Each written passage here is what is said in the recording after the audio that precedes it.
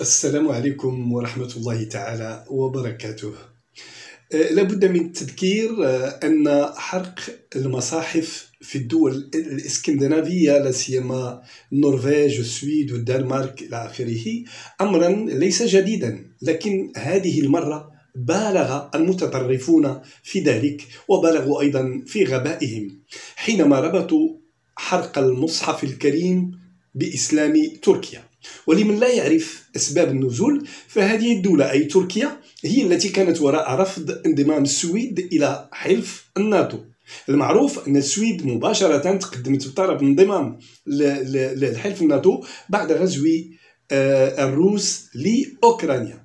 السويد خافت وتقدمت بطلبها الانضمام مباشرة. لكن نظام الناتو يشترط قبول طلب أي دولة جديدة في حلفه بموافقة جميع الدول الأعضاء دون استثناء. ولا تعتمد الناتو قرار الأغلبية بانضمام الدول الجديدة بل كل الدول يجب أن توافق. لكن تركيا اشترطت على السويد التوقف عن دعم الأكراد الذين تعتبرهم جماعة إرهابية.